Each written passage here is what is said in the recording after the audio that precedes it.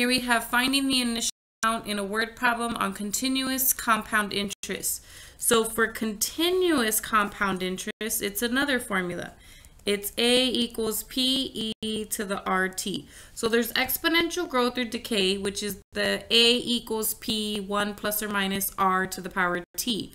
Then there's compounded, right, which is A equals P parentheses 1 plus R over N, close the parentheses, to the power N times T. And then you have continuous compound interest, which is A equals P e to the RT, okay? So there's three different formulas and all of them are used in three different cases. So let's just review that again. We got three formulas. We've got um, exponential growth or decay, and that one's this. Then you have compound interest, which is A equals P1 plus R over N to the NT. And then you have uh, compounded continuously.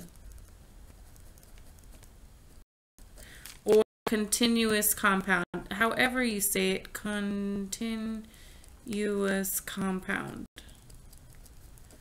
interest. Either way, whichever word comes after the other, it doesn't matter. You can say it either way. It's this formula. So you have three different formulas depending on the situation. Now this one does say the word continuous and compound together. So I know it's this formula here.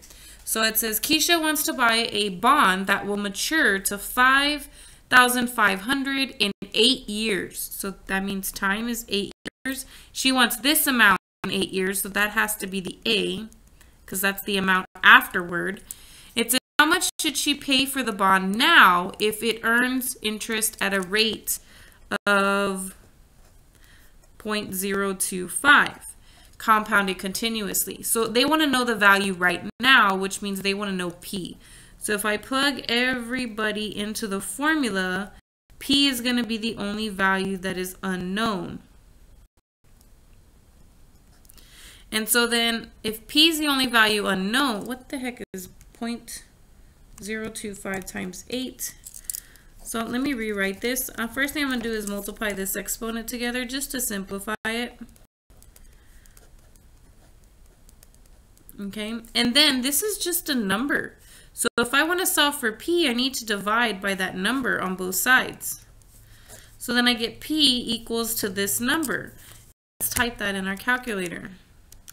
Oops, 5500 over E to the 0 0.2. And I get 4503.02 because it's money, right? So I would have to invest this amount now in order for it to grow to that amount after eight years. If it does tell you to to the nearest dollar, then only put 4503. But if it says round to the nearest cent, then you put the two cents.